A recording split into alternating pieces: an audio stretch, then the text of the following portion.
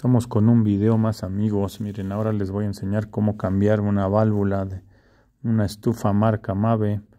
Por lo regular todas las estufas casi es la misma operación que se hace para cambiar válvulas. Miren, aquí vamos a sacar la válvula que está fallando. Esto como nos dimos cuenta porque cerramos nuestra llave o nuestro maneral como lo conozcan ustedes y sigue saliendo un poquito de gas, queda el olor y hicimos la prueba con el cerillo. Es esta la válvula, miren.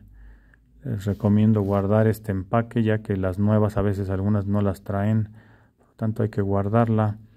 ya lo teníamos previamente.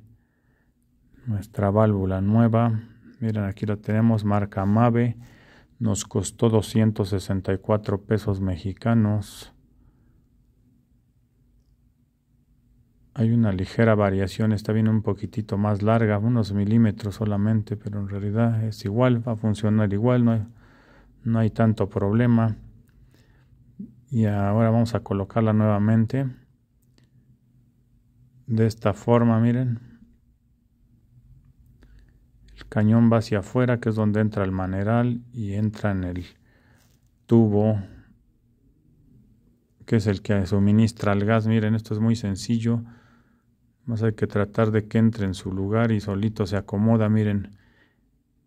Solamente lleva un pequeño tornillo que es el que sujeta nuestra válvula. Lo vamos a sacar con un dado de 3 milímetros, un dado muy pequeño. Que yo se lo adapto a una llave Allen de 3. Miren, aquí está. Más debemos de tener muy mucho cuidado al colocarlo hasta que sientamos que agarró la cuerda, apretar. De lo contrario, podemos tener problemas y barrer la cuerda y qué va a pasar, a echar a perder nuestra válvula, tendremos de que comprar otra nuevamente, por lo tanto es lo que les recomiendo, sería lo complicado encontrar la cuerda, miren ya está, listo, hay que apretar solamente a donde llegue, no con mucha fuerza, ya está, miren, ahora vamos a proceder a poner nuestros tubos de cada quemador, bueno, antes vamos a ponerle sus tornillos. Miren, de aquí en el panel frontal quitamos cuatro tornillos que son los que sujetan al tubular que conduce el gas hacia nuestras válvulas. Esto lo vamos a hacer para que tengamos, no, más bien no tenga tanto movimiento y podamos apretar nuestras válvulas. Ya que se desconectaron las seis, las desconectamos. Esto con la finalidad de no tener que desarmar todo el panel frontal.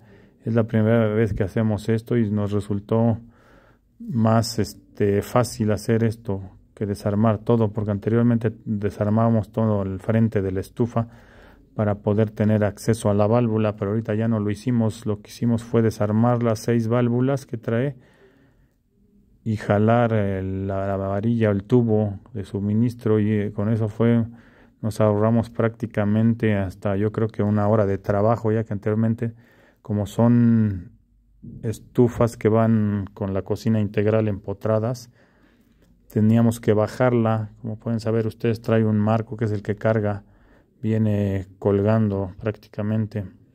Y ahorita pues ya no hicimos eso, lo manejamos de otra forma y nos resultó bastante sencillo, prácticamente nos ahorramos aproximadamente una hora. Listo amigos, miren, esta es una llave de 3 octavos, hay que apretar bien. Y con eso quedó amigos, nada más les recomiendo hacer la prueba de jabón. Ya que terminemos vamos a colocar nuestros manerales. Miren, estos solamente entran a presión, traen una forma cuadrada en la parte de abajo y entran a presión todos. Les recomiendo hacer la prueba ya que echamos el suministro de que no haya alguna fuga antes de tapar la estufa. La cubierta solamente se sube y se baja, no, no hay problema de que tenga algún tornillo broche, solamente lo levantamos y listo amigos, miren. Con esto concluimos este video amigos. Es muy sencillo, si tienen dudas, comentarios, espero su, me los hagan llevar. Gracias y hasta la próxima.